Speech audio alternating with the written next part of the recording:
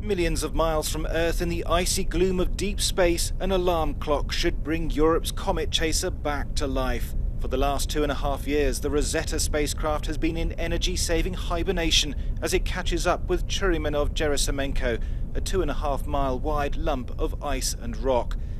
Later this year, it will orbit and then land on the comet's surface. Anxious moments for engineers at the British company Astrium, who helped to design and build the probe. It's interesting enough, if you like, to, to actually design, build, and launch uh, a spacecraft, but to then see it travel around the solar system for 10 years to get to where it is now is, is just something else.